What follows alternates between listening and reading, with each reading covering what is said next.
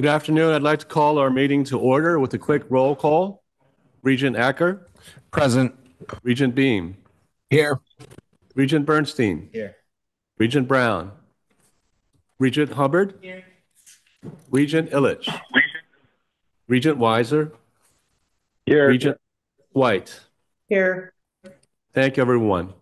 It's a pleasure to be with all of you this afternoon for our fi- final meeting of 2023. We've had a great year together.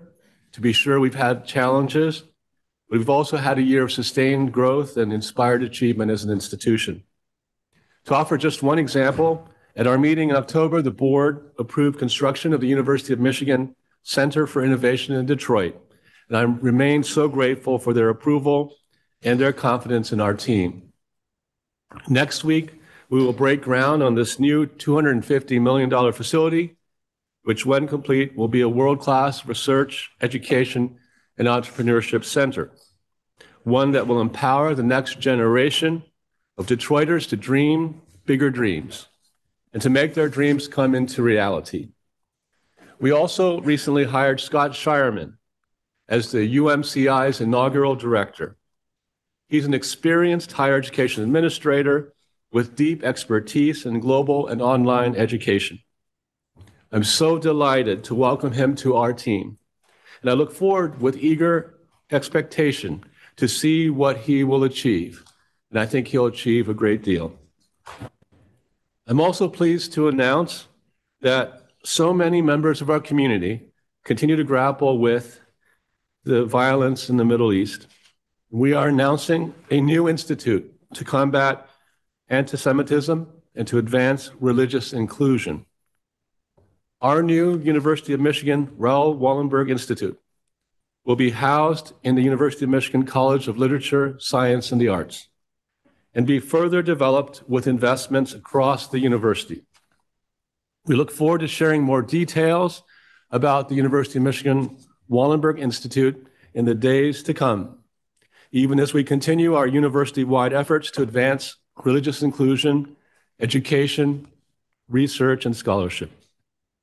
Today, we are bringing together leading University of Michigan expertise and diverse perspectives towards a safer and more inclusive world, and even more, a brighter world of peace. On a different matter, at our September meeting, I promised to provide an update before the end of the semester on the proposed unarmed non police emergency response initiative. We have benchmarked comparable programs at other higher educational institutions, gathered an inventory of existing University of Michigan services to support a collective crisis response, and identified a work group to address the best way forward. I am pleased with the actions to date and look forward to further progress in the new year. As I promised, I'll keep you apprised of that progress. To start the new year, we will be cheering on our Wolverines in their quest for a national championship.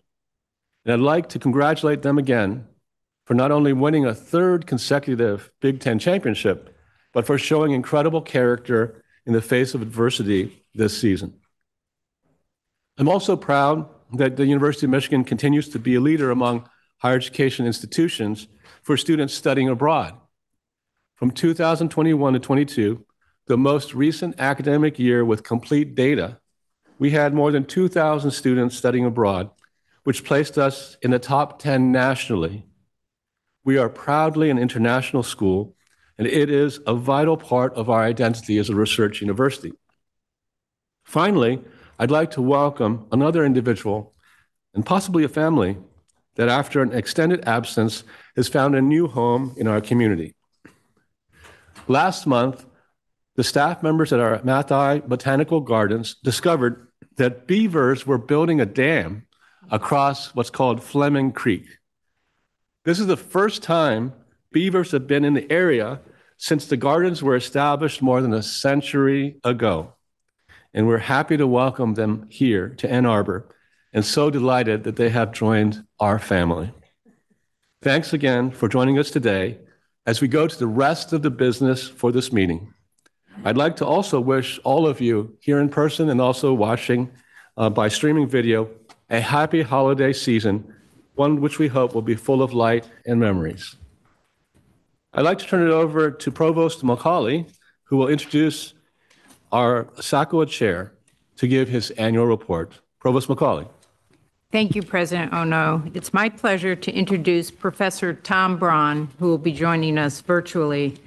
A professor of biostatistics, Tom currently serves as the SACUA and Senate Assembly Chair. In that role, Professor Braun and I work collaboratively on many issues of concern to faculty. Tom, please go ahead.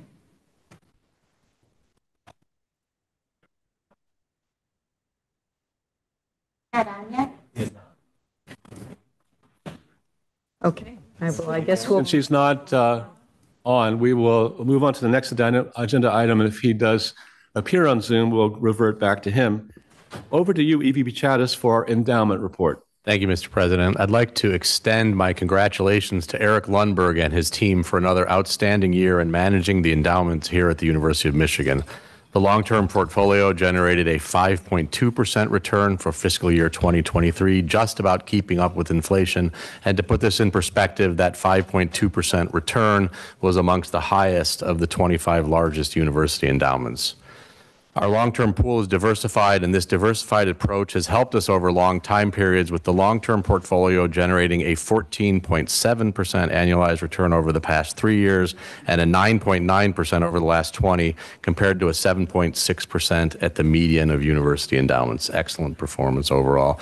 And finally, the endowment has achieved these returns with less volatility than in public investments, which is important for maintaining stable growth. And the university has focused its energy transition investments on areas that offer a strong risk-adjusted return, as well as significant near-term positive environmental impact, including creating renewable energy and lowering greenhouse gas emissions through industrial processes and agriculture. Thank you, Mr. President.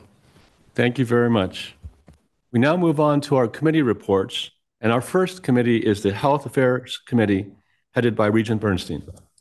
Thank you. uh, Thank you, President Ono. The Health Affairs Committee was, we met last, earlier this week. Uh, The meeting included Regents Behm and Hubbard. Uh, We received updates on strategy, financials, U of M Health, and emergency services. Thank you very much. The next committee report is the Finance, Audit, and Investment Committee, uh, Chair of the Board of Regents, uh, Regent Hubbard. Thanks, President Ono. The FAI Committee, including Regent Weiser, met on November 17th for a financial update and a discussion on the long-term investment pool investment policy. Thank you very much. Back over to you, uh, Regent Hubbard, for the Chair's report. Yeah, thank you so much. So I have a quick update on some Regental activities since we last met. So on November 13th, Regent Bernstein and I took part in the Higher Learning Committee Reaccreditation Evaluation Meeting on the U of M Dearborn campus with Chancellor, Chancellor Grasso and that team. And it was a very good discussion. Uh, I was honored to be part of the portrait unveiling for President Emerita Mary Sue Coleman, the 13th president of the University of Michigan. This historic event was followed by President Ono's very first State of the University address on November 27th, which you can find online if you have some time. President Ono was the keynote speaker at the Detroit Economic Club on November 29th, and I joined him there um, and listened as he spoke to the challenges and the achievements over his first year uh, at U of M. And we all are very much looking forward to winter commencement festivities that are fast approaching, and of course, the Rose Bowl. So I'll see you in Pasadena. Go Blue! Go Blue. Thank you very much, uh, Sarah. I think uh, uh, SACUA Chair is not yet on. Is that correct? Okay. All right. We'll move on then to the public comment on an agenda item. VP Churchill. Thank you. We are now moving into the public comment section of the meeting, and there's another section at the end of the meeting. As part of the regular meeting, many of you know the Regents set aside time for individuals to present comments to the board.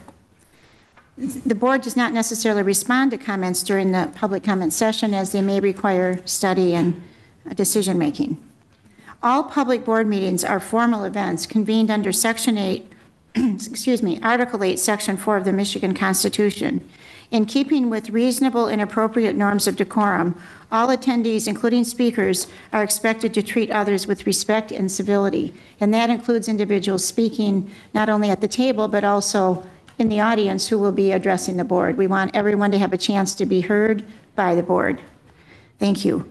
Individuals who are approved to speak will be expected to speak on the topic that was submitted during the registration period, uh, truthfully disclose any relevant organizational ties during that submission, and promptly spe- seek- speaking when the uh, allocated time ends. Speakers who do not adhere to these rules may be cut off during this meeting in- if they don't abide uh, by those rules and may be precluded from addressing the board in the future. This is in addition to other guidelines we have online. So those are the same rules that apply now to one speaker and then at the end of the meeting. With that, I will call our first speaker, Zachariah Farah. He's not here. Okay. Then we will continue at the end of the meeting with our other speakers. Thank you. Uh, I understand Tom Braun's not so long. Is he? Okay, we'll move on.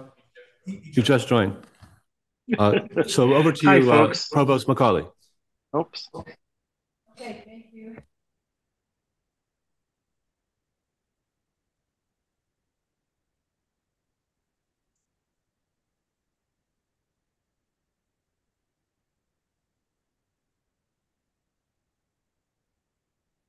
Don't have any sound. Professor Braun, go ahead. Are you able to hear me now? Yes. I'm so sorry. I uh, I thought we were starting at four today, folks. Uh, thanks. Uh, I'm in Texas, so I'm sorry I can't join you guys um, in person today. Um, but I'm thrilled to be able to uh, provide you with some information from the Faculty Senate. Um, as the Regents are aware, uh, we were able to, in May, uh, have a vote to improve to uh, expand our membership from originally about 4,000 individuals who were mostly tenure track faculty and research track faculty to include additional 3,000 individuals who mostly were clinical track faculty with some additional lecturers, archivists, and curators. So our body is now over 7,000 people strong. Um, I did want to share with you, and I sort of characterized our work into work that we've been doing with Provost McCauley and work that we've been doing uh, with President Ono. Um, this year, we have collaborated and worked hard with the provost uh, to to have a, a, survey of the salaries on the U of M campuses, and we're starting with the tenure track faculty here in Ann Arbor, um, and we're really hopeful that uh, this this uh, report can can begin going soon and produce some interesting results um, in the spring for not only our campus but then to be a, a wonderful model for our other campuses and our other faculty members. Uh, we're also attempting this year to begin looking at the oversight systems that we have here at the university, um, primarily the faculty grievance system, which was first created in 2010, and we think needs some improvements um, now at this time. And we're also trying to figure out how perhaps the Regents bylaws and standard practice guides uh, can be modified to look at the idea of sanctions and how they relate to tenure and what exactly falls under Regents bylaw 509 um, and what doesn't. We still hear a lot of confusion both between faculty and administrators on exactly how um, how to enforce the expectations that faculty have while still maintaining um, the rights that tenure brings to us. Uh, with regard to working with President Ono, um, we've been thrilled to get going with discussions about dependent care concerns. Uh, we recently had a survey that we sent out to all University of Senate members to assess their needs. And uh, we've already shared those results with President Ono and EVP uh, Jeff Chatas, also with the provost. And then I will be sharing the results with all of my colleagues at Senate Assembly this coming Monday. And we had a tremendous response rate of almost 1,100 individuals. And I think it really shocked me at just um, what a topic this is and, and how important it is to individuals that they were Ill- willing to respond to a survey um, and provide us with some really important information. Uh, we're really thrilled that Michelle Casey is joining us soon uh, to be the inaugural director of the newly created Ethics, Integrity, and Compliance Office. And SACUA is uh, would be thrilled to be having a direct link toward her uh, to provide information on how this this office is going to operate on campus. Uh, those are some of the major goals that we've had this year, and of course, um, as with all good plans, sometimes they they get superseded by other issues. And not surprisingly, uh, the major issue on faculty minds right now uh, remains the, the continued campus tensions uh, related to the war in Gaza. Um, as you are aware, the Senate Assembly did recently pass a resolution asking for publicly available information on the University of Michigan's financial investments in Israel. Um, but at a more local level, uh, many faculty have expressed discomfort and might I even say fear about trying to talk with students and other their other colleagues about the current camp- campus tensions. Um, there is also a challenging intersection with this issue and academic freedom, uh, whereby classroom conversations are leading to students who fear Yeah, retaliation was by Jimmy's faculty granddaughter, Jimbo's eldest. and faculty who fear retaliation by students, um, and even retaliation online from parents of students. And so many faculty, including myself, are, are truly lost right now without being better equipped with encountering these conversations that are quite risky um, for all campus individuals. And so this coming Monday at Senate Assembly, we're going to attempt to have a 30 minute conversation to start hearing what faculty actually think they'd like uh, to have done for the situation. I'm hearing from both students and faculty looking for faculty governance to pick a side, uh, to argue, and to demand specific actions. Um, but instead, um, I and many others are hopeful we can generate ideas for administration in which we can begin having in person conversations among faculty, students, and staff that are less polarized and, and can provide support for everyone who needs help right now. And just finally, uh, on a personal note, I, I, really would like to thank President Ono for his most recent message to the university, um, as well as to the regents who endorsed that message. Um, whether or not we on campus all agree on the termination of any future consideration of the two CS, CSG petitions, um, I hope we can all agree that, uh, quote, it does have to stop. Uh, and with that, I thank you for allowing me to speak. Well, Tom, I want to thank you for your leadership and all the work, and those surveys have provided us with uh, very important information in terms of how we can support faculty moving forward. And thanks for your uh, last comment. We certainly want to work with you and the entire community uh, and uh, to move uh, towards more peace uh, in the world, but also on this campus. So thank you for your leadership with that, and I'm looking forward to hearing from you about how that conversation goes with the Senate and SACUA. So thank you, Tom. All best Welcome. wishes to you in Texas. thank you. All right. We're now going to move on to the consent agenda, and uh, um, the minutes and reports uh, are on the website if you're interested in looking at the actual minutes of the past meeting. And we're going to move on to the um, UM Health System report with EVP Runge. Thank you, President Ono. Uh, today, I'm pleased to share a few updates about Michigan medicine. The first is a very positive rec- recognition in October by Newsweek that Michigan Medicine has been named the best hospital in the state of Michigan. Uh, scores for each hospital were calculated from peer recommendations, patient experience data, hospital quality metrics, and patient outcomes. Uh, these rankings were also based on national online survey of tens of thousands of healthcare professionals about leading hospitals that they would recommend. In another nationwide review, of hospital and health systems, UM Health ranked number five by Nurse Journal for being one of the best places to work as a nurse in 2023. Nurse Journal is a career and educational resource website. They used data from CMS and the ANCC Magnet program to determine the top 30 hospitals. The top 15 were then selected based on patient satisfaction, staffing levels, safety measures, nursing career opportunities and benefits, and nurse ratings. So we're very pleased about both of those uh, rankings. Um, you may know that earlier this year we implemented a star ratings for our clinical faculty. This is a rating program that is done in partnership with Press Ganey, uh, who collects and collate, collates the data and calculates the scores for us. It's one of and perhaps the most uh, recognized and respected uh, star rating of physicians uh, available online. And in our first report from them, our faculty received an average of 4.9 stars, which we're told is one of the highest ratings ever seen by Press Ganey. So uh, great congratulations to our faculty. And finally, a quick update on our special pharmacy, uh, specialty pharmacy, which is a new facility in Dexter. This is a highly automated pharmacy anticipated to begin fulfilling automated prescriptions in January. The specialty pharmacy will also become home to a fleet of drones in the future, which will have the capacity to deliver prescription drugs to patient homes within a 10-mile radius. We expect a 3D model of the drone base in the coming weeks, and planning and for implementing this service will continue through 2024.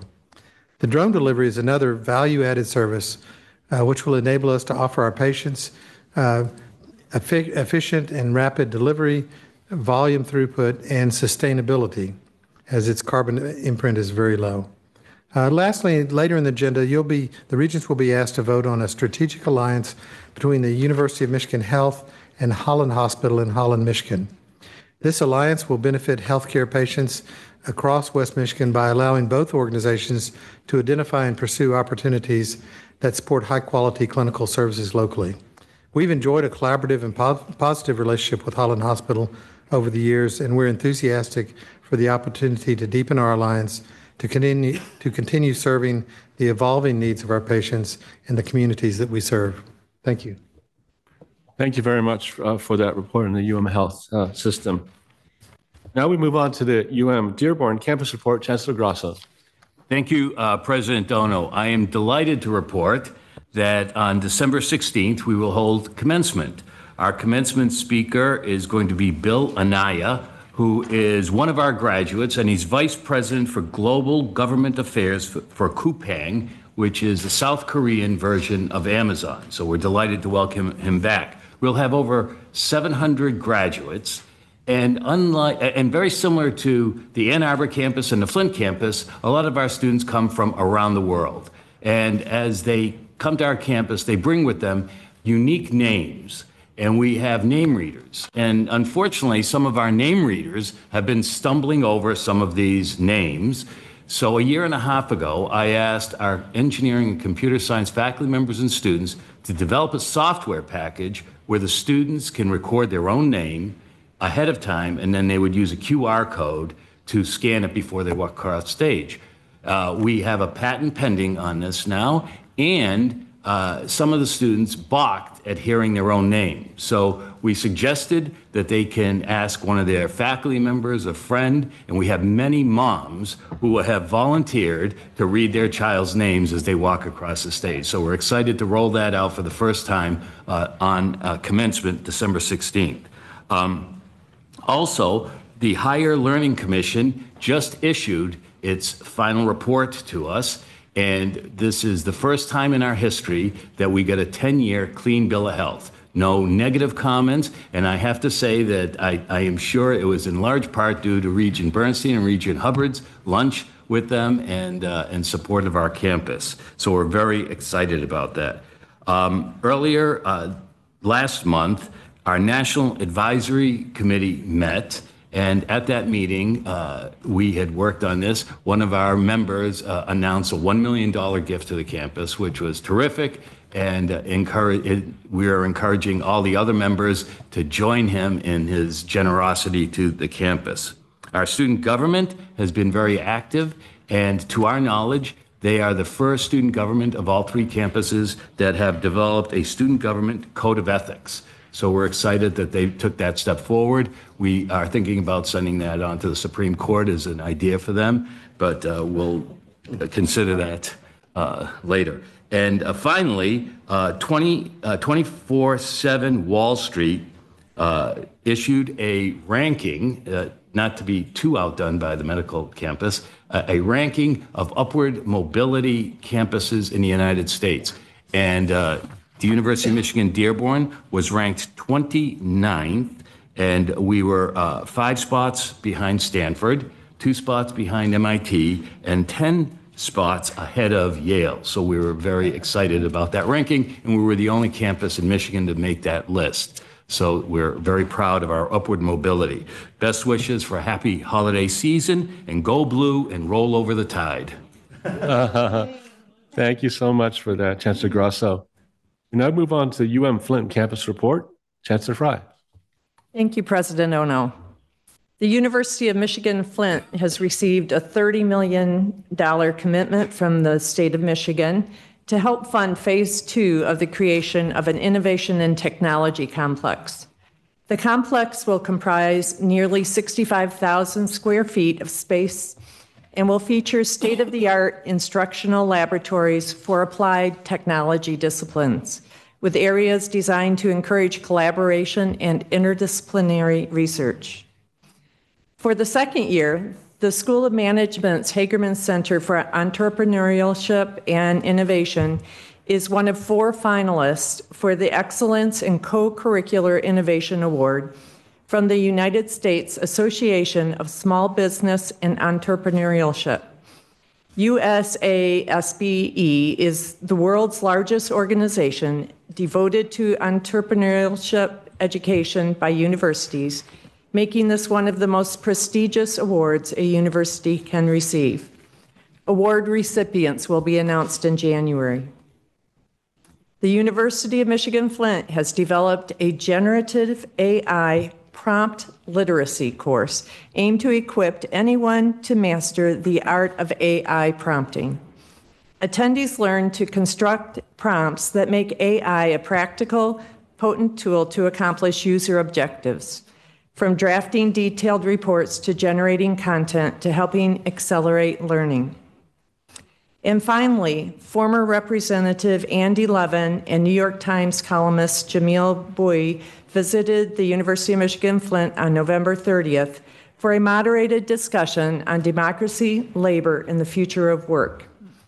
This event, co-moderated by Professors Jacob Lederman and Kim Sachs, was part of the University of Michigan Flint's Borders and Crossings program, which offers first-year experience courses designed to help U of M Flint students gain the broad-based critical thinking skills necessary to understand an increasingly complex global society.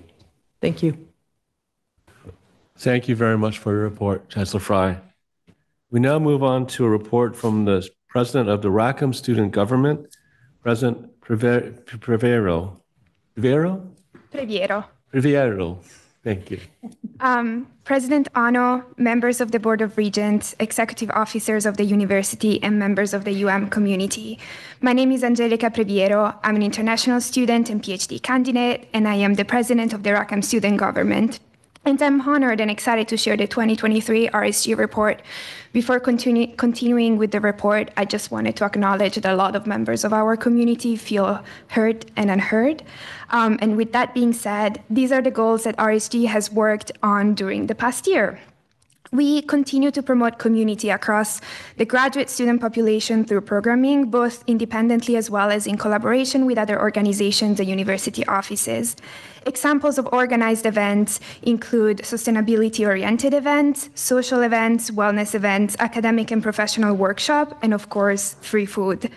We also continue we also continue to address affordability concerns for graduate students. The impact of inflation and the rising cost of living in the area is severe, as the majority of graduate students are supported by fixed stipends and scholarship, and especially impacts students' parents and caregivers, international students, students of colors, older students, and LGBTQ plus identifying students. Our solution and contribution include connecting students to resources and the RSG Basic Need um, microgram program which offers short-term financial assistance of up to $100 open to all graduate students. During the last iteration of the program, we were able to fund roughly $45,000 um, in applications. Notably, we were able to also support non-Rackham students through external sponsorships such as the law school and the central student government. This year's program will be launched next month. Um, we also focused on advocacy efforts and connecting graduate students with administration. A significant ad- advocacy effort this past year was with regards to promoting positive mentor mentee relationships and accountability in the more severe situations. We released a survey asking for students' experiences to inform our advocacy efforts while working with Dean Solomon, the Rackham Executive Board, on their initiative, which is the Statement of Rackham Graduate Faculty Values, Privileges, and Responsibilities. Um, finally, I also wanted to thank the Rackham Deans and Associate Deans for their willingness to listen and connect with the graduate student populations. And we're honored to be able to facilitate these conversations th- through lunches that we organize twice per term, one being on Central Campus and one being on North Campus. Thank you all for your time and continued support. I'm always available to answer any questions and provide additional information. Sorry. Thank you very much for your report. And now we have a report from the Central Student Government President, President Hur.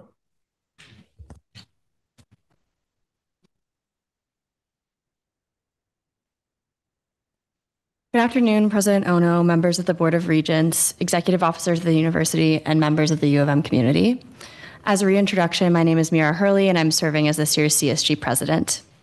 I'm pleased to be here with you all today to provide a brief update on behalf of Central Student Government. Since we last convened in Ann Arbor in September, CSG has been very busy. In October, CSG facilitated a town hall about carbon neutrality on campus. We had about five staff members and administrators join us, including new AVP for campus sustainability, Shana Weber, to discuss student perspectives on the transition to carbon neutrality at U of M. We're looking forward to share- sharing takeaways from this event with stakeholders shortly. Also in October, in collaboration with the Urban Planning Students Association, CSG ran an educational and interactive workshop about the Ann Arbor comprehensive planning process and affordable housing generally in Ann Arbor. This event was very successful, and we gathered data on student opinions that we will be sharing with the city's Planning Commission. In November, CSG ran another successful iteration of our Airbus program, which provides students with discounted rides to and from the airport during common travel times. Our ridership over Thanksgiving break was great, with over 800 students using the service. We look forward to offering the service again as students travel to and from campus during winter break. Finally, as this semester comes to a close, our team has been very focused on mental health promoting initiatives.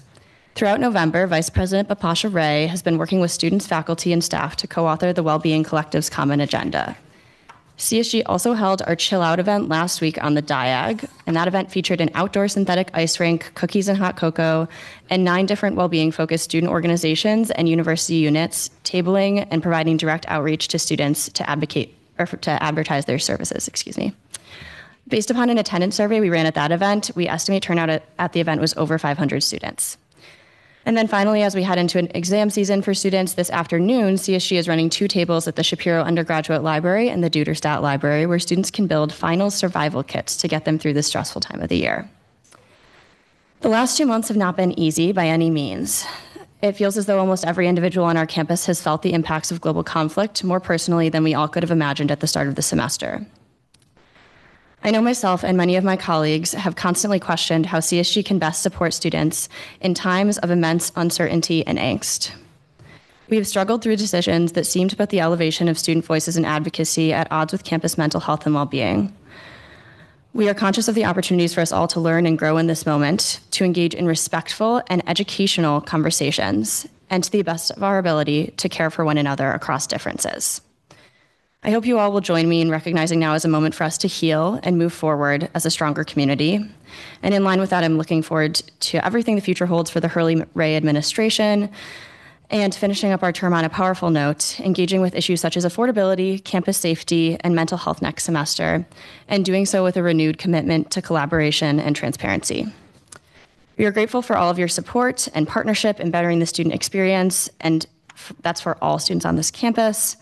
As many of you know, our door is always open. Should you have any questions or concerns, please contact csg.president at umich.edu if you'd like to get in touch. Thank you again for allowing me to speak with you all today. President Hurley, can I, before you step down, just uh, thank you on behalf of the university for your leadership during a very difficult time. Uh, it's difficult to be a student, it's difficult to be a CSG president. It's particularly difficult during these sorts of moments. And I want you to know, on behalf of the entire university and me personally, that I'm grateful for your leadership during this time. Thank you. I appreciate that. And we're now moving on to um, uh, the retirement memoirs that are in your uh, materials um, and uh, uh the section on degrees, which are also uh, in the materials. And I would like to now call for a vote on the consent agenda. Is there a motion? Second. All in favor, say aye. Aye. Aye. Anyone opposed, same sign. Anyone abstaining, same sign. The consent agenda is approved unanimously. We now move on to the regular agenda of the meeting. Item number four, uh, EVP Chatas to speak about the Electric Vehicle Center Battery Laboratory expansion. Nothing to add, Mr. President. Thank you so much. I'm very excited about this. Um, Is there a motion to approve? Moved. Second? All in favor, say aye. Aye. Anyone opposed? Anyone abstaining? That motion passes uh, unanimously. Observatory Hall Reserve Officers Training Course Space renovation, EVP Chatas? Nothing to add, Mr. President. Is there any, is there a motion to approve? So moved. Second? Second. I note Kathy White, I think. Uh, All all in favor? Say aye. Aye. Uh, Anyone opposed? Anyone abstaining? Uh, Moves forward.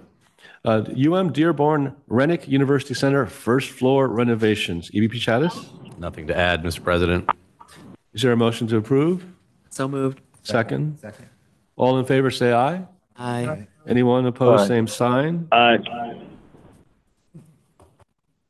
Uh, uh, Anyone abstaining? Okay, I think the motion passes unanimously with a delayed aye. Um, And the School of Nursing Building 1 Classroom and Interior Renovation, EVP Chatas? Nothing to add, Mr. President. Is there a motion to approve? Second? Second. All in favor, say aye. Aye. Aye. Anyone opposed? Same sign. Anyone abstaining? Same sign. The School of Nursing Building 1 Classroom Interior Renovation Project has been approved unanimously. We now move on to supplemental items uh, in today's uh, meeting agenda. The Elbel Field update, EVP Chatas. Thank you, Mr. President. As you and the board know from previous meetings, the new Elbel Field will provide a wonderfully improved facility for the Michigan Marching Band, Go Blue, who we have consulted with closely through the relocation process. I'm returning to the board today to request approval of a budget increase involving a crushed storm sewer pipe under the field. The original design called for it to be replaced in its current location. However, at the city's request, the design was updated to place it in the right-of-way instead. This is preferable to the university as it protects our investment by avoiding future disturbances on the field and ensures the city can conduct prompt maintenance as needed. The complexity and time needed to make this change will result in extra costs, but will be better for the Michigan Marching Band and the city in the long run. Therefore, I recommend this action item for approval. Thank you. Is there a motion to move? Second? Moved. All in favor, say aye. Aye. Anyone opposed? Same sign. Anyone abstaining? Same sign. The Elbel Field uh, update has been approved. We move on to the Marygrove housing lease. Uh, Provost McCauley and EVP Chatas. Thank you, President Ono. At the request of the Provost's Office to expand innovative program offerings, the Marsal Family School of Education is preparing to offer a novel four-year undergraduate degree program on learning, equity, and problem-solving called LEAPS, with a special residential experience for one year on the campus of the former Marygrove College, now home to the Marygrove Learning Community, a Detroit P20 partnership in Northwest Detroit. The program was approved by the Provost Office and by MASU in 2022. LEAPS is a one-of-a-kind undergraduate degree program in which students develop the skills to become change makers who effectively partner with peers, communities, and organizations. LEAPS blends the capabilities of a leading public research university with community-based learning in Detroit. First-year students live and learn together on the Marygrove campus as a cohort before defining individualized career pathways. LEAP students will learn through research and community action projects led by neighborhood organizations like the Center for Black Entrepreneurship, Detroit Future City, and Focus Hope. The students' work will draw from the learning sciences to solve problems in community-driven ways in areas including education, urban planning and civil, civil engineering, public health, public policy, neighborhood revitalization, and community health projects. The initial cohort of 20 to 25 first-year students will enroll in fall of 2024. We are extremely excited to be working on this important investment in the city of Detroit's future. We envision that the LEAPS program will be a draw for Detroit youth to apply to the University of Michigan. Now I would like to hand it off to EVP Chatas. Thank you, Provost McCauley. To support this amazing new educational opportunity, we are seeking your approval today for the lease agreements that will keep the project on track in preparation for our first students. I'm excited these students will soon have a chance to experience this unique educational opportunity, and I recommend this action request for approval. Is there a motion to approve? Second? Second. All those in favor, please say aye. Aye. Anyone opposed? Please say aye. Anyone abstaining? Please say aye. Motion passes unanimously. We now move on to the conflict of interest items, items 8 to 20, each of which requires six votes for approval. Does any region have any questions about items 8 through 20? If so, let us know. Seeing none, I'd like to say that um, um, Regent Hubbard will recuse herself from item 10, so we'll vote on that in isolation. So would any regions like to request recusal from voting of any of the other items 8 through 20? If so, let me know. Seeing no, none, voting now on 8 through 20 minus number 10, is there a motion to approve? So moved. Second? All those in favor, please show, raise, raise your hands so we can count. Aye. And I have my hand raised. My right hand's raised. Uh, It, it passes. Thank you so much. Um, Now, um, there's a motion to approve item 10, the Fresh Start Clubhouse. Is there a motion? So moved. Second? Second. All in favor, please show of hands so we can make sure there's six, one, two, three on Zoom. My right hand's raised. Hand Four, raised. five. You need one more. Six. Okay, wonderful. Item 10 is approved as well. We now move on to other items. Uh, uh, On the Department of Voice, uh, renaming as the Department of Voice and Opera. Provost McCauley, Nothing to add. is there a motion to approve? Moved. All in favor, say aye. Aye. Anyone opposed, say aye. Anyone abstaining, same sign. The department change has been approved unanimously. Establishment of the Technology Department, College of Innovation and Technology, University of Michigan Flint. Uh, Chancellor Fry, do you want to say anything? Nothing to add? Is there a motion to approve? So moved. Seconded. All in favor, say aye. Aye. Anyone Aye. opposed? Aye. Anyone opposed? Anyone abstaining? The Technology Department has been established unanimously, Chancellor Fry. Um, Now on to the College of Arts and Sciences, University of Michigan Flint again. Approval of the change of the name of the College of Arts and Sciences to the College of Arts and Sciences and Education. Chancellor Fry, would you like to comment? Nothing to add? Okay, is there a motion to approve? Second? Second. All those in favor, please say aye. Aye. Aye. Anyone opposed, same sign. Anyone abstaining, same sign. The cha- name change of the college has been approved unanimously, Chancellor Fry. Now we move on to the Holland Hospital Strategic Alliance, EVP Run- Runge. Nothing to add. Is there a motion to approve? Second? Second. All in favor, say aye. Aye. Anyone opposed? Same sign. Anyone abstaining? Same sign. The Holland, Holland Hospital Strategic Alli- Alliance has been unanimously approved. Uh, And now we move on to public comments. Uh, EP Churchill. Thank you. We will continue with the rules stated earlier. Uh, Under our new policy, which is effective this month, some speakers have five minutes, some have two, depending on the number of people that signed up for the same topic. So our first speaker is someone who will be, have up to five minutes, and that is Rawan Antar.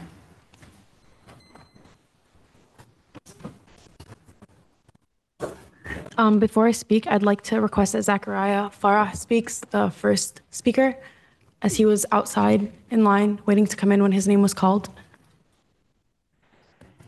Do you want him to speak? Yeah, he wasn't here when he. He wasn't here at the time. That was an, an agenda-related topic, so he gave up his opportunity, so sorry. Already voted. It's already been voted on. So you can speak now. The timer's going off. Okay. No, I mean the called speaker. Oh. So because I, although I've signed up for public comment, you're not allowing me to give public comment. I don't know, who are you? My name is Zachariah. No, you were late. It was earlier in the meeting. You said there, you were speaking on an agenda item that's already been voted on, so we're moving on. If people aren't here, we move on. So um, we're now eating into the time that Rawan got. Patrick, please start the timer for the five minutes. Thank you. Good afternoon, esteemed members of the Board of Regents, President Ono, faculty, and fellow students. My name is Rawan Antar, and I stand here today as the co-president of the Arab Student Association and a member of the Tahrir Coalition, the largest, most diverse coalition our university has ever seen, encompassing over 63 different student organizations. I'm here risking my own personal safety as an Arab woman to express deep concerns regarding the racist attacks that Palestinian Arab and Muslim students have been facing at the university. Despite our persistent attempts, you have refused to meet with the coalition for the past two months. You have refused if we have handed you evidence, overwhelming evidence of racist and harassment faced by our students, and you have refused even as the genocide in Palestine prevails, putting the current death toll at over 20,000. In your most recent statement, you stated, and I quote, in one particular instance, two of our students have been targeted, slandered, and harassed after being accused of stealing a list of campus emails. The students have faced angry calls for their expulsions, hateful intimidation, and physical threats. Let's be clear. These are not just any students. They are my friends. They are Palestinian Arab Muslim women, and their doxing was not accidental. They were systematically targeted because of deliberate neglect of this administration and the insidious attacks on student democracy last week when the university chose to compromise CSG elections, even as you allowed outside interferences that were heavily linked to the Twitter account that doxed them. In your recent statement to students, you claim to be listening. But where were you when a doxing truck, sponsored by Alums for Campus Fairness, drove around campus for an entire day, depicting Muslim women as terrorists and attacking hardworking faculty members that teach students and serve this institution in countless ways? Where were you when a donor associated with the DI Fellowship attacked one of your students during a peaceful protest, stating, and I quote, Are you going to send one of your terrorists after us? It is precisely this racist language that leads to the death of a six year old Palestinian boy in Illinois, and more recently, the shooting of three Palestinian college students, just like me, in Vermont. These words aren't abstractions, these words have killed. And where were you when over 10 different police forces were sent to attack your own students who were simply waiting in your office for over four hours for a simple meeting with their own president?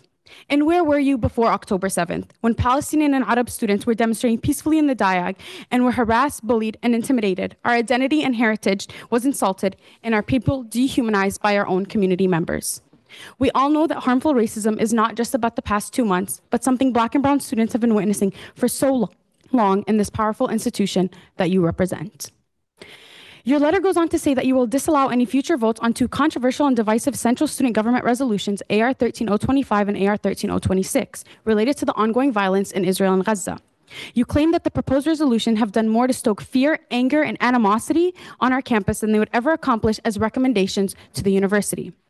I'm here to comment on this misleading claim regarding Resolution AR 13025 which asks for the protection and the recognition of marginalized student communities, a resolution that dares to demand accountability and transparency from this powerful public institution. This undemocratic suppression of Resolution AR 1325 13025 only seeks to protect your pockets and your $18 billion endowment. In 1978, responding to the movement against South African apartheid, the Board of Regents adopted a resolution including the following language. If the Regents shall determine that a particular issue involves serious moral or ethical questions which are of concern to many members of the university community, an advisory committee would be established to investigate whether a particular issue might require a deviation from the normal investment policy, which otherwise emphasized profit over anything else. Time and time again, you have refused to consider the ethical implications of investing and profiting off genocide. Why is our safety and the ethnic cleansing of Palestinians not a serious enough moral or ethical concern for you? You claim that your investments are not political, but only driven by market forces. I want to ask you, how is investing over 30 million in the shekel, a highly unstable currency, not a purely political investment in the ongoing genocide in Palestine? You must know that it's precisely your negligence that directly paves the way for violent racism against our community. It is your negligence of our collective pain and vulnerability that makes us fear for our safety and increasingly our lives on this campus every day. Let me remind you that this is a public institution that must be accountable to the people of this university, all of its diverse student, faculty, and staff. You have the duty to represent the people of the state who elected you, a state with the largest concentration of Arab American and Muslims. I have spent the last two months as a student leader being afraid and sad to be a part of a university that refuses to acknowledge and protect us. But I'm here to tell you that it's not too late to do the right thing. As members of the same collective community, I'm here to ask you to respect our humanity just as we respect yours and divest from apartheid. Thank you all. Mm-hmm. Our next speaker is Charles Davis III.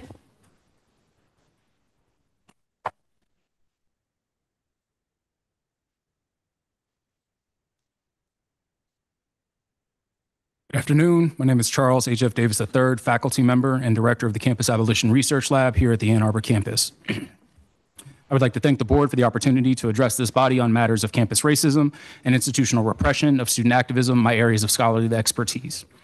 As is well known, during a peaceful demonstration on November 17th, students from a diverse coalition representing 60 allied organizations were met overwhelmingly by police officers from nearly a dozen different departments.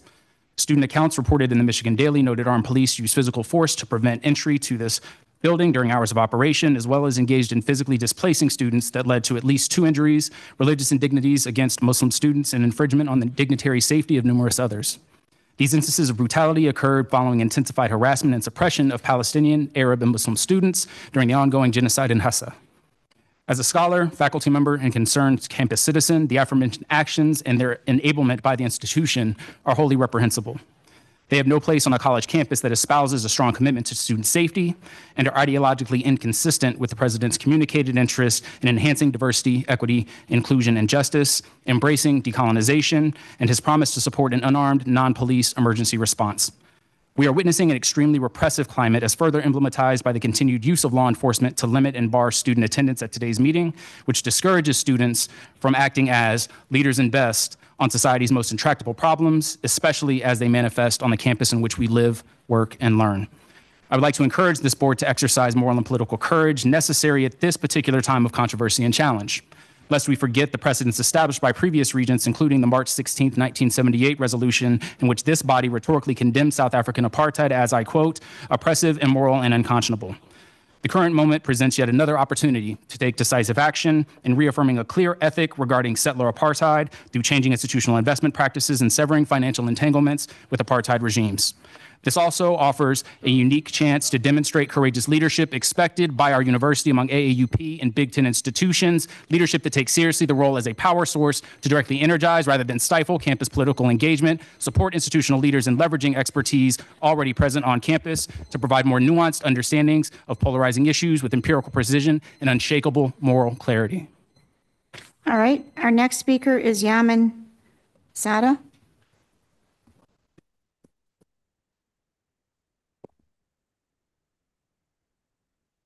Good afternoon, uh, President Ono, members of the Board of Regents, executive officers of the university, fellow faculty, and students. Uh, thank you for the opportunity to address you today. My name is Dr. Yaman Sadeh. I'm an assistant professor of neurosurgery, and I direct the brachial plexus and peripheral nerve program. I'm a 2010 LSA graduate. I was born at Old Mott Hospital. My daughter was born at New Mott Hospital. My dad moved from the West Bank of Palestine in the 1980s to U of M to get his PhD. Our connection to the university is extremely deep and runs across multiple generations. Uh, and our very Michigan family is in a lot of pain right now. Uh, there comes a time when we have to make tough choices and we have to do the right thing, the ethical thing. In my own medical practice, I encounter this very frequently, and myself and other physicians, we have to, we're guided by our oaths, the most important of which is to first do no harm. So today I ask for self reflection in the setting of current world events, in campus events, has our beloved university been following the simple ethical maxim of do no harm? When a college advisory board member physically and verbally attacked Arab and Muslim students and was not punished, even though it was on video, was that doing no harm? When the university silenced the voices of the Michigan student body seeking a resolution to condemn the violence, uh, was that doing no harm? When representatives of dozens of vulnerable student organizations were begging, please, for two months, just meet with us, hear our concerns, hear what we're going through, and for two months we were rebuffed. Was that doing no harm? When a Palestinian child in Gaza is being killed every 10 minutes for the past two months, when two million people are made homeless, starved, cut off from the world, when hospitals are destroyed and doctors like me are being killed, civilians bombed in an open air camp they can't escape from, and our university doesn't even consider divesting from the government that's doing these crimes. Is that doing no harm? The mission of the University of Michigan is to serve the people of Michigan and the world through knowledge, academic values, and developing future leaders and involved citizens. But first, we must do no harm. Thank you. Thank you. Now we have Elise Hocking, who also has five minutes.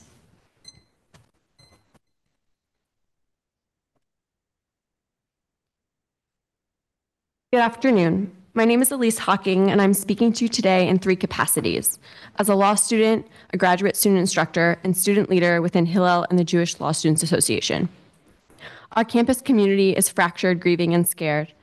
As students are grieving, organizing, and attempting to make sense of the Hamas Israel war and how it's changing our campus community, most professors have not been addressing the war in supportive and constructive ways.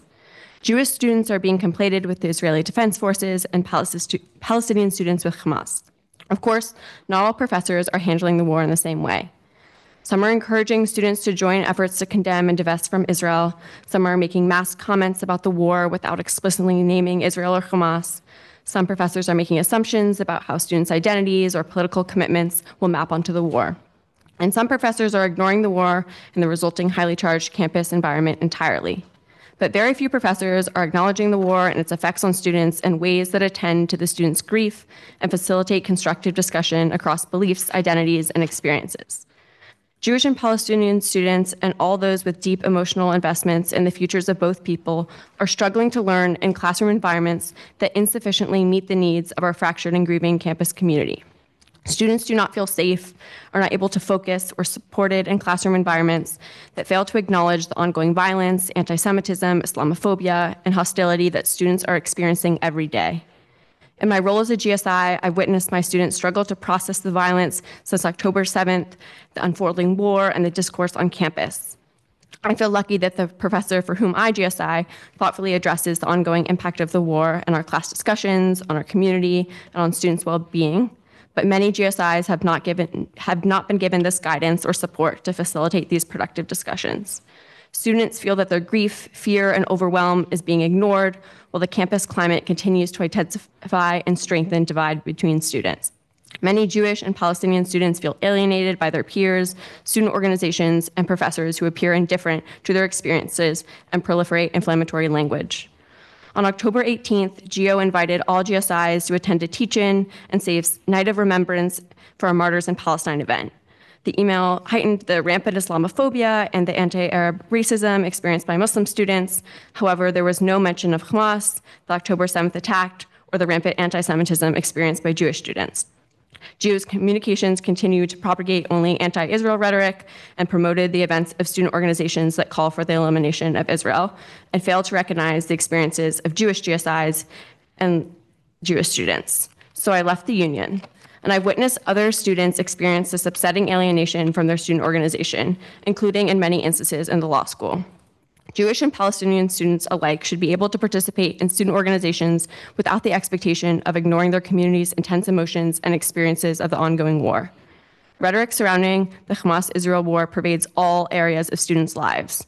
We experience this in the classroom, on the diag, in our student organizations, and in our friend groups. This is not an issue contained to activist groups, but rather affects all students on campus, whether directly or indirectly.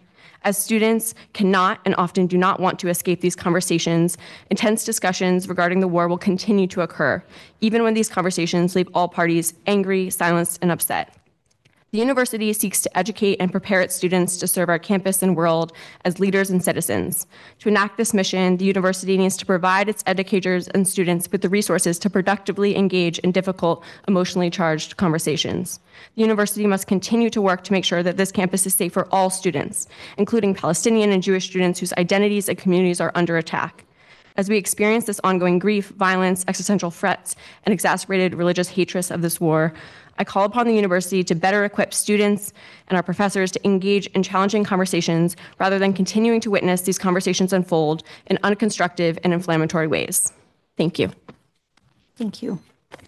Our next speaker is Tyler Fiorito. Before I speak, I actually have uh, some copies of the formal proposal. Uh, if I, I don't know how to. You can give them to Patrick standing behind you who has a timer. Thank you. Appreciate it. Awesome. All right, this timer started? Sorry. Yep. Oh, okay, sorry. My bad. Um, It's good to be back. Uh, I was actually at the Flint meeting back in uh, October. Uh, that was a very interesting meeting. Uh, I'd never actually been to the Flint campus before, but it was nice uh, to see that there's actually a vibrant community of U of M students up there.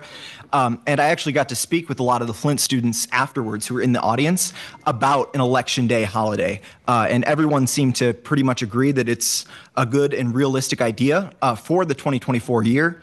And because last time was sort of a hypothetical idea for an election day holiday, I actually talked to student leaders, uh, both inside government and just orgs, and we got together a formal proposal based on the winter break extension of earlier this year and formatted it in a way where the only thing that would be amended is an election day holiday. So during this time, not only did we talk about the idea, we made sure that the actual schedule would remain intact otherwise. Um, and yeah, that's actually what uh, hopefully we'll get up to the, that end of the table over there.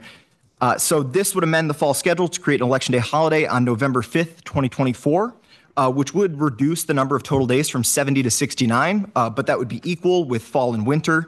And historically, we looked in 2022, 2023. That was also 69 days for fall, 69 days for winter. Uh, and the current year we're in right now is 67 for fall, 69 for winter. So we feel that a 69 69 split between fall and winter would be more than reasonable.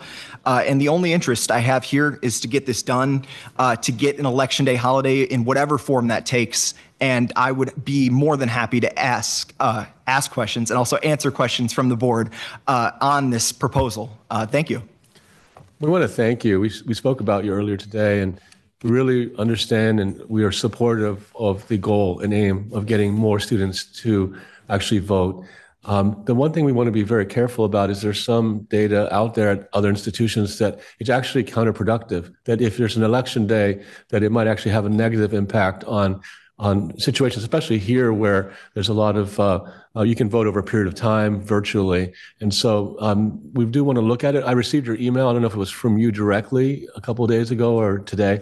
Uh, so I want to thank you. I did receive it, and I want you to know that we have talked about it. We're thinking about it, but uh, wanted to be very clear with you about that concern. We don't want to do anything that would actually uh, have a counterproductive impact on on voter turnout from our students. Absolutely. I mean, that's totally that. I mean, the whole point of getting a turnout uh, up would be the holiday, and I totally get you. Uh, I would love to know uh, the other institutions and compare them. I spoke with some people at EMU and also MSU, which I believe both have uh, an election day holiday in place.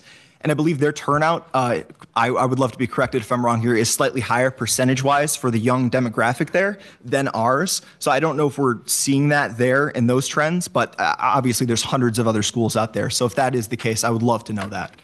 We'll definitely look into it. And, and we really appreciate your work and, and put into this uh, proposal and just want to be very transparent with you about what we're thinking about. So thank you. And we'll be back in touch with you. Yeah. Absolutely. Thank you. Go, go ahead. Regent Ilitch? want to uh, applaud you for your Push your button. Oh, sorry. I just want to applaud you for your enthusiasm and keep it up, okay? Because we want to get to 100%. So I appreciate the discourse here. we can't do it this way. We'll figure out a, you know, collaborate. We'll collaborate and try to figure out a, another way to get 100% participation. But um, stay fired up about it, okay? I will stay fired Good up all the work. time, right? Good work. Thank you. Our next speaker is Connorson Vanderbeck.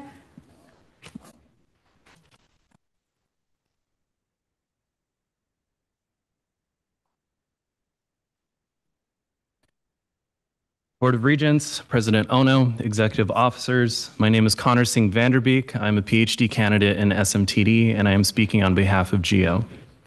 On September 21st, 2023, President Santa J. Ono offered a statement of support for the development of an unarmed non-police emergency response program that serves the University of Community. The need for this program arises from the continued over-policing, dehumanization, and murder of black people by police across this country. Many of us remember Aura Rosser, the woman who was fatally shot by Ann Arbor police in 2014, and Samuel DuBose, the unarmed black man who was killed by campus police at 20, in 2015 at the University of Cincinnati during Santa Ono's tenure there. My remarks address how President Ono has mobilized police to suppress dialogue with students. Since late October, a diverse coalition of now over 70 student organizations has been protesting the university's non response to the ongoing siege of Gaza. what the UN Commission on Human Rights has called a campaign of ethnic cleansing. On November 17th, the university deployed roughly 60 police officers from over 10 precincts to suppress a peaceful protest at the Ruthven building designed to open dialogue with President Ono. A multi ethnic and interfaith group of 40 students was arrested and banned from future entry to Ruthven, all for wanting to speak to the president. These armed officers exercised a disproportionate and frankly unprecedented amount of force towards Palestinian students, in addition to black, Muslim, and Arab students and student allies, including verbal assault, removal of hijabs, and body slams.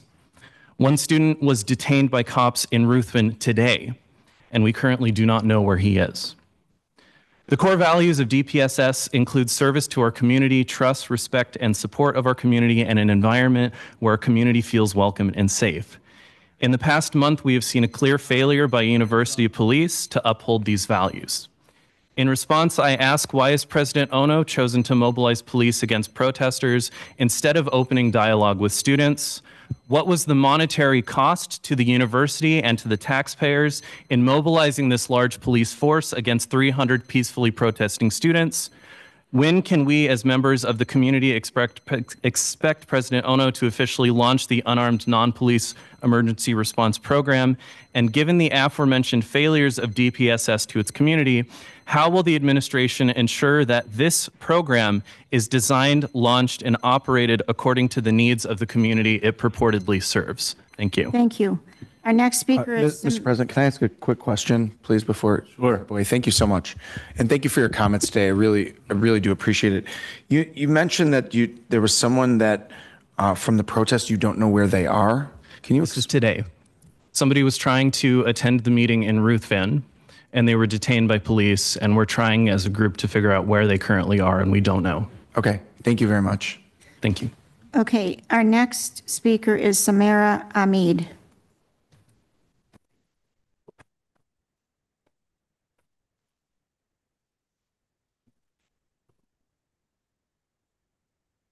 Good afternoon. I'm Dr. Samira Ahmed, a licensed clinical psychologist, alum, a parent of two current students, and a former lecturer at the University of Michigan. I'm also the executive director of the Family and Youth Institute. I specialize in Muslim mental health and community psychology. Board of Regents, President Ono, your public statements and refusal to meet with students erases pro Palestinian voices, Arabs, Muslims, Jewish students, and over 70 other student organizations, rendering them less than equal. You allow racism to accelerate un- unabated on this campus, on my children, on my patients. There, in the past two weeks alone, there have been 30 incidents against Muslim students on campus, and there has been a reported increase of 300% Islamophobia cases, many of them coming from students. Mental health concerns are abound. Students and faculty are reporting a rise in fear, anxiety, and depression. Some people can't even leave their homes. They're unable to do their work and fulfill academic obligations.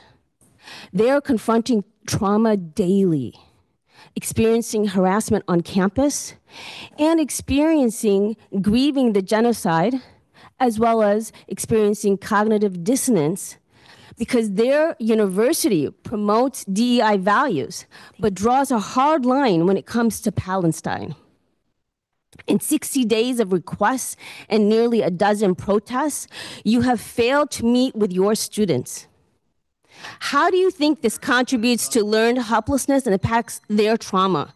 They are victims of institutional racism. They know they don't matter. It's more collateral damage.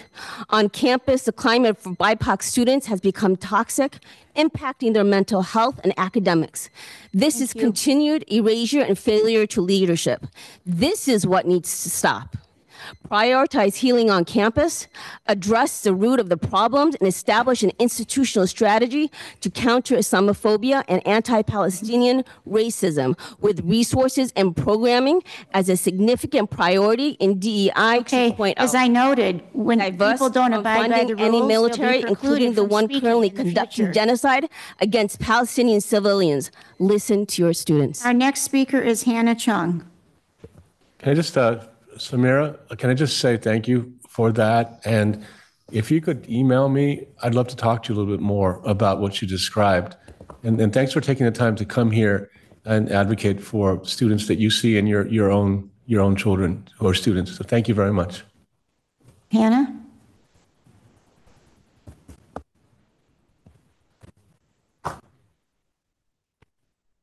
Good evening.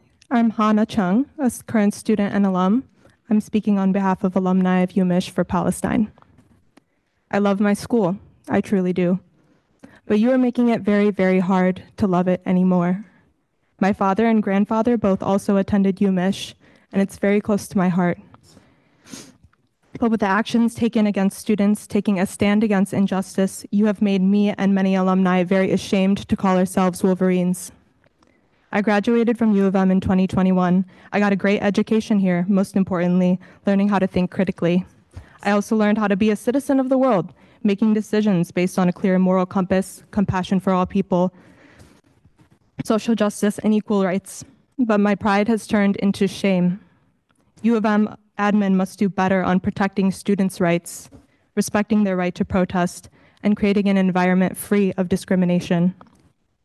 For all of the time, energy, and money the University of Michigan spends talking about diversity and inclusion, they continue to fail the people like me, Hannah, who actually benefit. Diversity and inclusion are simply buzzwords that the university uses to try to absolve itself of its unending offenses to people of color near and far. The support and investment in an apartheid state is beyond shameful, it is abhorrent. It is a stain on the University of Michigan and only serves to reinforce your dedication to upholding white supremacy while pretending to be a respectable institution. The decision to not only support but also fund Israel's crimes against Palestinians, Africans, their own citizens, and beyond ensures that you can be sure you will not be getting another dollar from me, my family, or our general Asian American community here in Ann Arbor, Ypsi, and Metro Detroit. If you do not divest as soon as possible.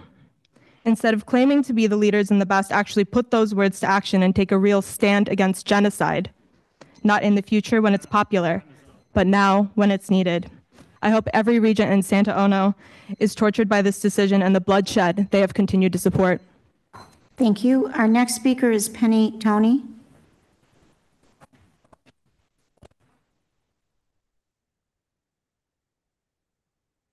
Hello, everyone. My name is Penny Tony, and I am the president of UMAP, the United Michigan Medicine Allied Professionals, AFT uh, 6739.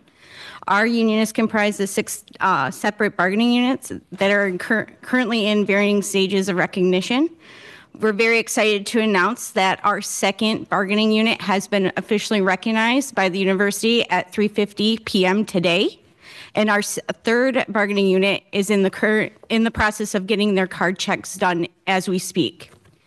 All of our members of UMAP play vital roles in providing comprehensive patient care from CT technologists like myself, surgical technologists and medical technologists, physical therapists, social workers, and our medical assistants.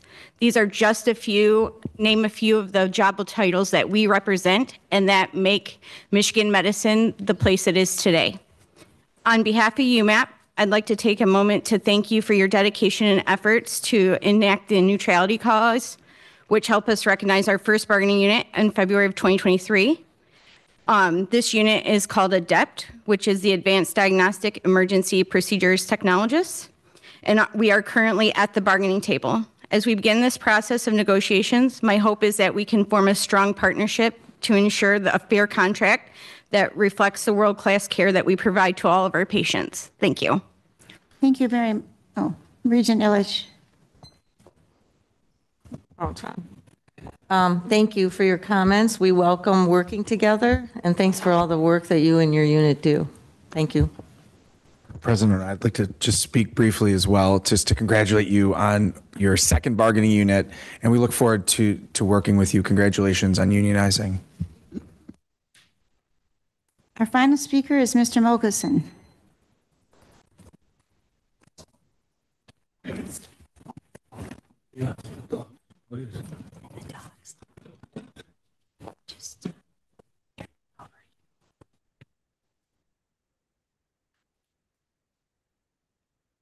So back in December of 2016, you bought a hospital for $200 million out by Grand Rapids.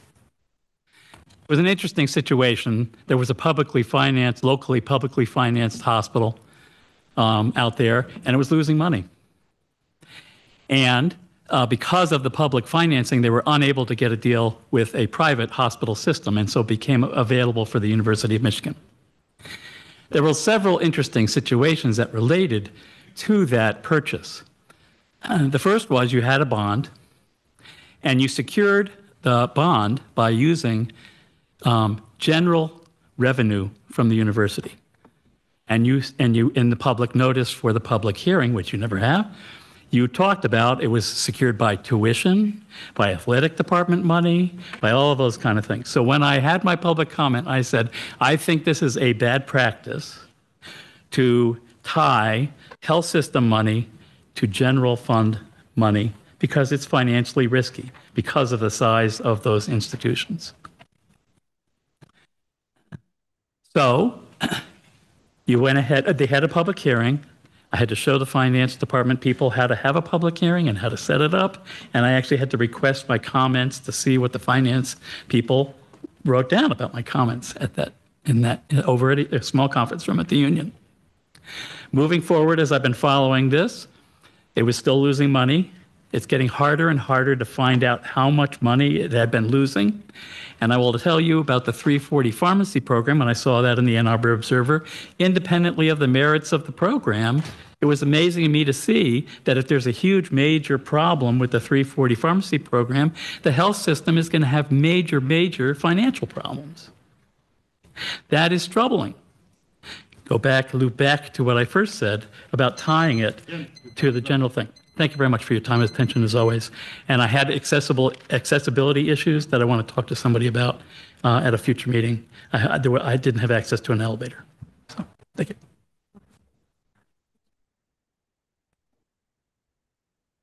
Thank you, everybody, for coming today. We really appreciate your feedback and your comments. Uh, we are going to continue to review our public speaker policy as we're hoping to stay focused on, um, you know, having speakers represent different issues without as much duplication. So thank you again for being here today. Over to EVP Runge uh, to introduce. Thank you, President Ono. Uh, today I have the pleasure of uh, introducing a really important program, which is actually uh, one of the best parts of my job, my job, which is our therapy dog program. Uh, Lindsay Herring, the Administrator Director for Child and Family Life, and Chaplain L.J. Brazier will be discussing our Paws for Patients program. They will be followed by Lana Berry, the coordinator for the uh, Therapaws Michigan Medicine Program, who will describe the volunteer activities. Chaplain Brazier and Lana are joined by their dogs, Anna and Penny.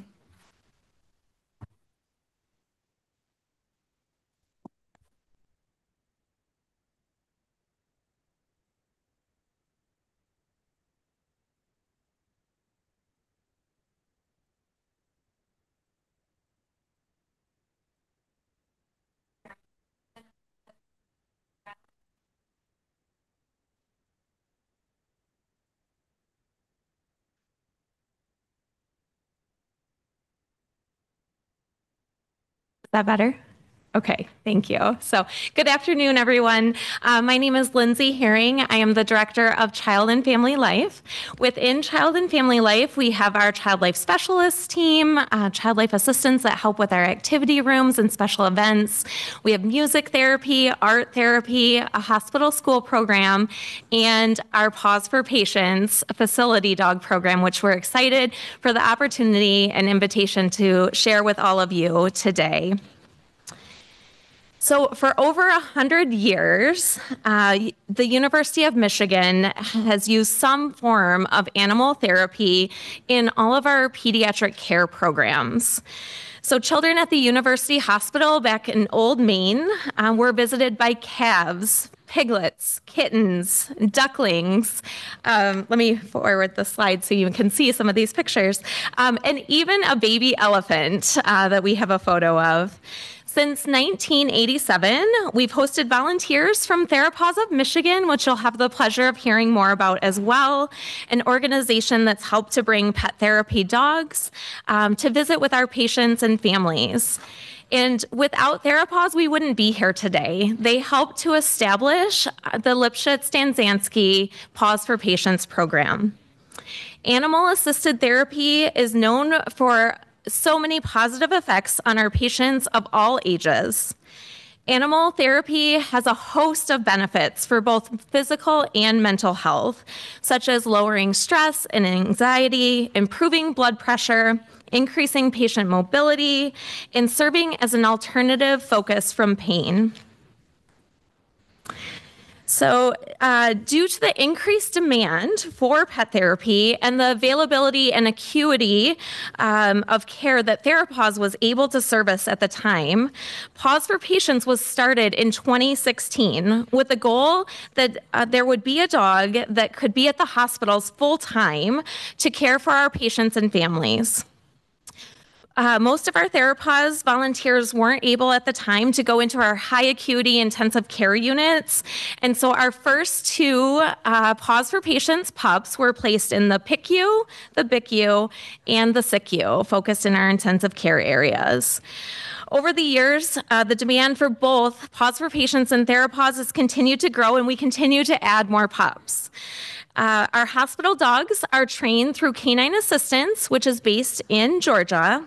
And all of our handlers also go through training through Canine Assistants bond based approach, where the relationship and connection with each handler is critically important. Patients from units where we have facility dogs are able to receive these services based on the handler's workflow and clinical coverage of that area. So these our Paws for Patients pups are with us 40 hours a week. They have full-time jobs and are intended to provide clinical interventions and support the therapeutic treatment goals alongside their handlers who all are clinicians. So I'm briefly going to touch on, on the areas that we are able to service through this program. The first three on the slide are dedicated to Mott Children's Hospital. Barney is allocated to 12 West, which is one of our inpatient general pediatric units, along with our inpatient child and adolescent psych unit. Dashel is assigned to inpatient hematology oncology and also Sophie's Place, which is our dedicated music therapy recording studio. Is allocated to pediatric palliative care services, and Anna is with you here today. Anna was one of our originals. Uh, she is dedicated to spiritual care, heavily focused on the adult side, helping with adult palliative care services, the SICU, high risk OB, and also responds to high acuity needs in Mott. Bugle is allocated to our No One Dies Alone program, Elder Life program, uh, adult emergency services, and social work in the university hospital. And lastly, McCoy is allocated to adult psychiatry services. And in uh, 2021 is when we had um, the ability to be endowed through the Lipschitz Stanzansky family. We are forever grateful for their generosity and support, along with all of the other donors for uh, this program. At this time, I'm going to invite LJ Brazier up to share a few patient and family stories and impact of our Paws for Patients program.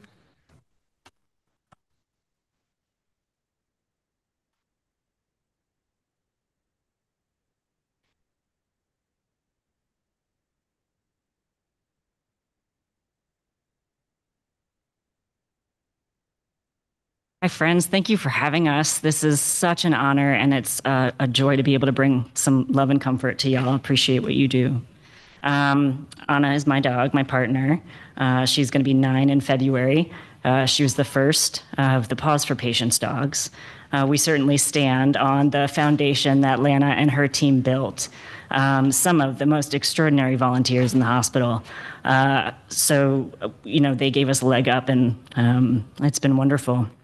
So, I'll share two stories one from uh, my work in peds and one from my work in adult. Um, so, my clinical work, uh, I'm a chaplain. I practice clinical spiritual care, and I specialize in taking care of people uh, who are receiving palliative care.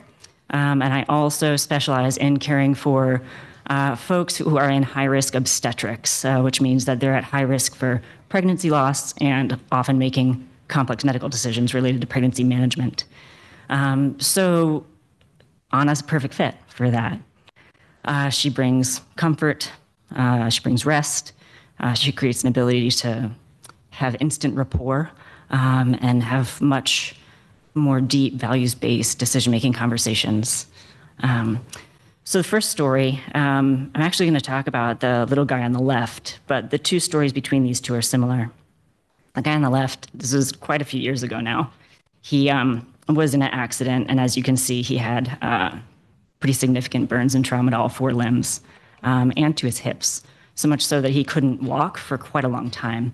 Uh, at the time, we had to accommodate him in our adult uh, burn unit um, because uh, the burns were so extensive that the PICU couldn't really comfortably uh, care for them as well as they knew our burn nurses could. Um, and being a four year old on an adult trauma burn unit is not fun. Um, it's boring, it's scary, there's not the same resources there are in a PEDS hospital. So, after being confined to the bed for quite a long time, um, it was time for him to try to stand. And he was terrified. Um, Anna had been seeing him when he was in the bed and had been getting him to do a little bit of physical therapy. You know, she convinced him to move his arms for the first time because uh, he wouldn't do it for the physical therapist, but when Anna came, she was worth it. Um, and then, uh, so I talked with physical therapy and, and the primary team during rounds in the morning, and we were like, you know, let's try Anna. Um, so the physical therapist picked him up out of the bed and put him on a play mat on the floor. If any of you have been in the children's hospital, you know what those look like. And uh, got down there, and then I just let Anna go. And as you can see, I, you can't tell right now, but Anna often, like maybe against the rules, sometimes is often off leash um, in patient rooms because she just is so trustworthy. Um, and so we just let her go. So they could go ahead. She knows this guy, he knows her. So Anna goes over to the play mat and they just play together for a little bit. And he starts moving more and more. And he starts reaching up to touch her back and Anna is encouraging him and playing with him. And then before we know it, he's putting his hands on her shoulders and pulling himself up to stand. And so the physical therapist jumped in and encouraged him. And his grandma, who you can see right there, threw his gown on really quick because she wanted a picture. Um, and they just stood like that for a long time. And then uh, after this, Anna starts walking around, and he does the same. He keeps holding on to her and starts walking sideways. So he was able to take his first steps in a very long time and able to stand for the first time, in large part because we had Anna there uh, to help him feel safe. And while this is a story about a child, um, I want you to know that this is exactly what happens in a lot of my adult patient care as well. All of us, all of us are children, but in much bigger bodies and with a lot more baggage. We have to, as healthcare providers, as humans, as neighbors, we have to recognize that inside every one of us is a child who hurts, a child who's scared, a child who isn't sure if they're safe. And often it's hard to find comfort and safety in the presence of other humans. But dogs, it's different. So that's what Anna does, not only for kids, but for loads of adults. And I hope she can do that for you here too. The other story I'll tell is a little bit more of an adult story. Um, in my adult work in adult palliative care. I have a patient who has a, a, rare disorder. If you know anything about medicine, it's called neurofibromatosis type 1. So um, if someone has that active disease, it's quite painful, um, and it doesn't. You don't. You can. You can't live very long with it. Um, she's in her mid 30s, has two young children, and is married. Um, and she's developed quite a few complications. Uh, to this point, you know, her life expectancy is months, um, but she recently developed a severe infection, which is going to shorten her life to weeks.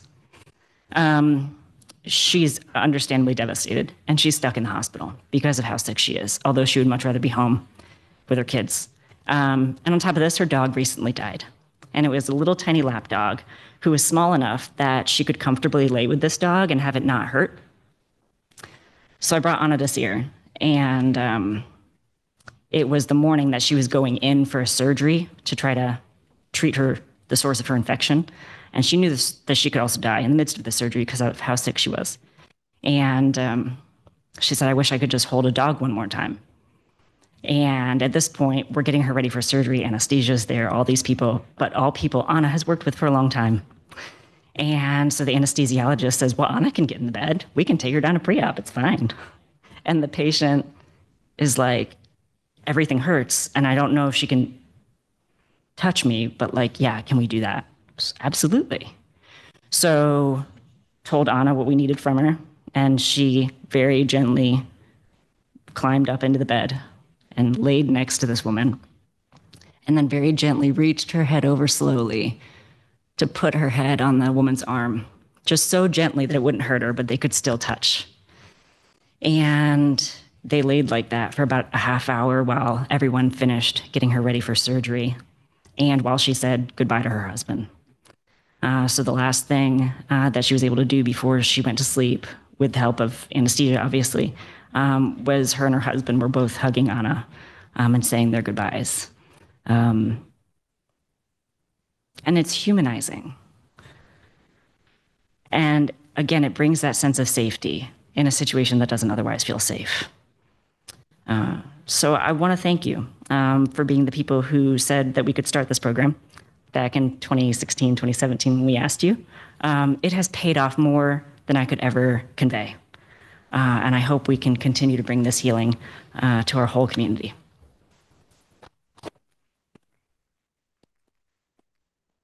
Well, thank you very much, uh, everyone, for coming here and all that you do to bring uh, comfort to.